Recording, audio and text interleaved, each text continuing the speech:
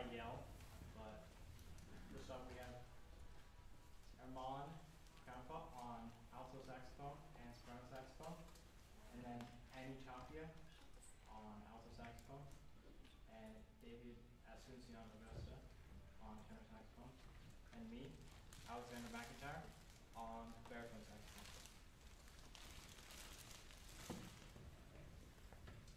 So Mark's gave you the quiet. I don't know, I'm just, I'm just waiting for Okay, the, we're kind of waiting for the. yeah, we're officials. waiting for the signal, Start cue. so I figure. You might have to reintroduce us, because it's not live stream.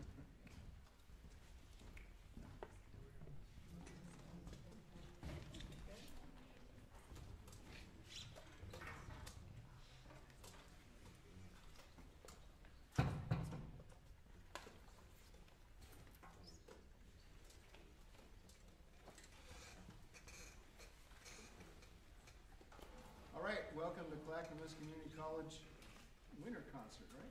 And, um, this is the saxophone quartet here that I've been lucky enough to be able to, uh, have a saxophone quartet class because we have the players for it, so it's been really great fun the last few terms. So Xander already introduced the players. We're gonna play a couple pieces here, Miniature Jazz Suite, which is in four parts by Lennie Niehaus, and the Little Fugue in G minor by J.S. Bach.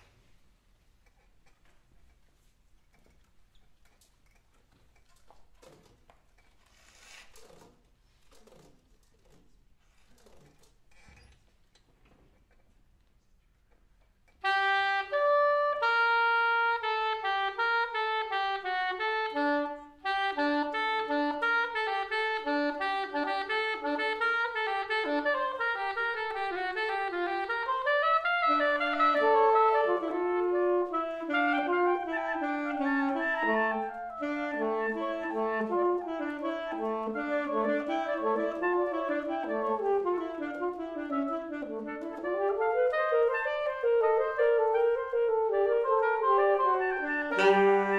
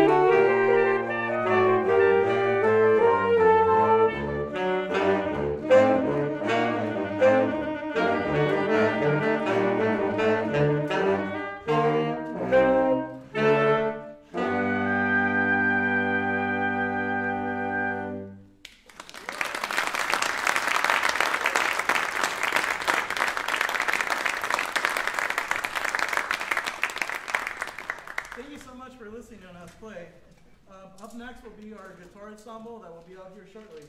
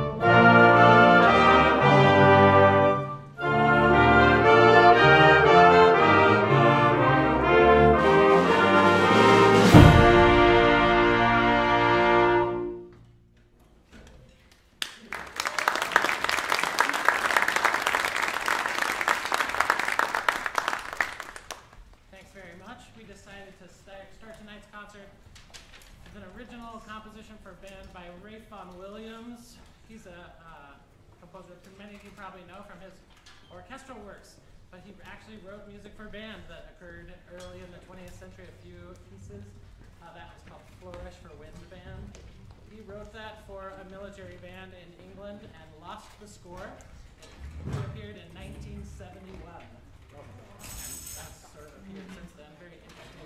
Beautiful short work. It's set up so well, I thought, with the uh, battling brass that I thought it would be fun to do antiphonally from both sides of the stage. We actually didn't get a chance to rehearse in this room because the theater department had a musical in here, so it's the first time we've done that. Went fine.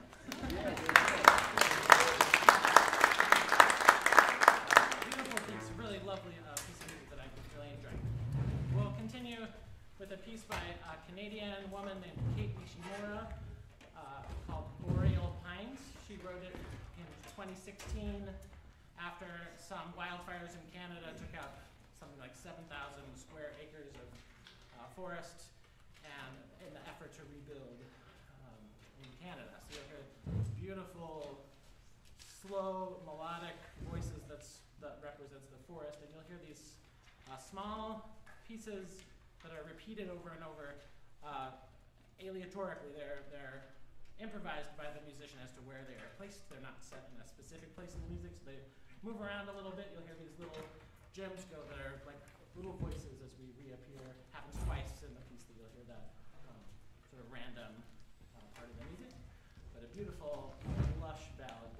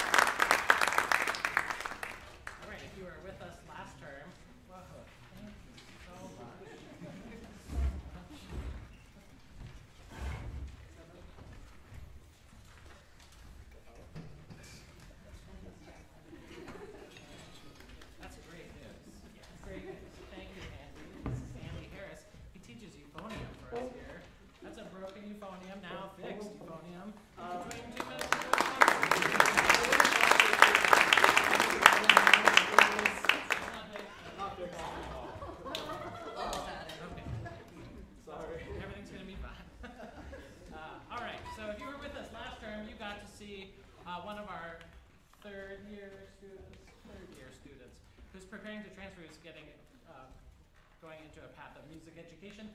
And so I invited him to conduct one piece on the concert last time. He's back to do another today.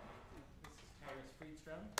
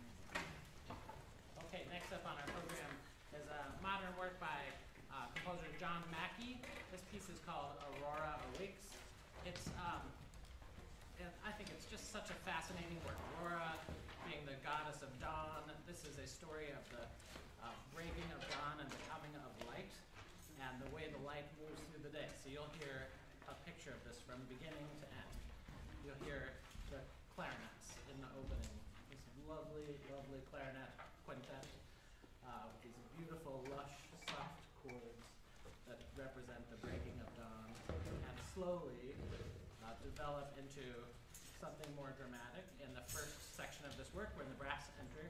Uh, beautiful, um, some beautiful dissonances and um, a great telling of story. And then, in this large second half of the work, uh, we see the light playing and the day moving along.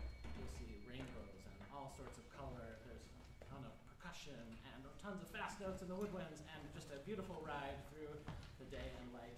It's one of my favorite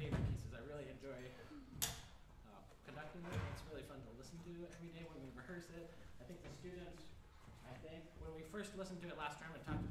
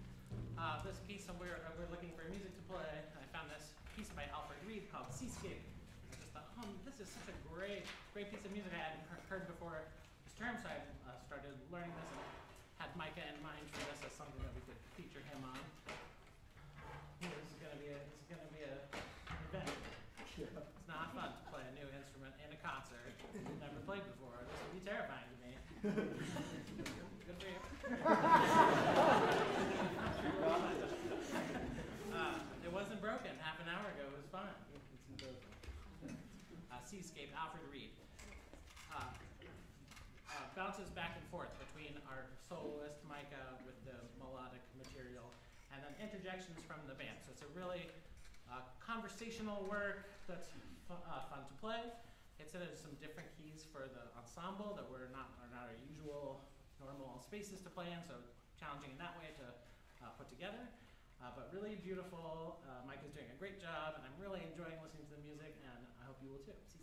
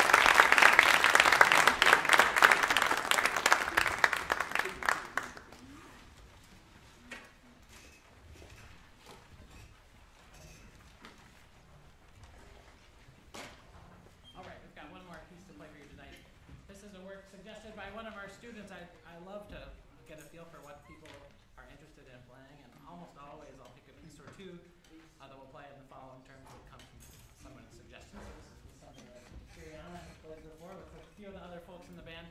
This is called Halcyon Hearts. It's by Katahj Copley, who's a new, newish composer, young 20-something composer.